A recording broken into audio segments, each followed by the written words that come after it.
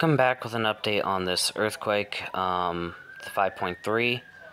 Um, in Australia, there's a siren going by. Um, firefighter, okay. So there's probably a car wreck down the road.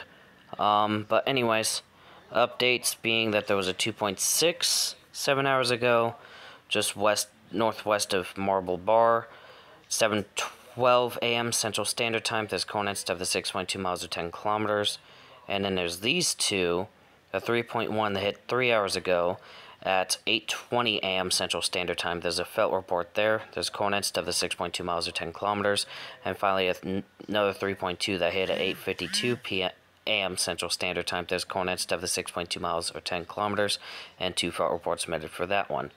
So if you felt any of these four earthquakes, let me know in the comment section below and from where. Stay safe. See you in the next video. Bye.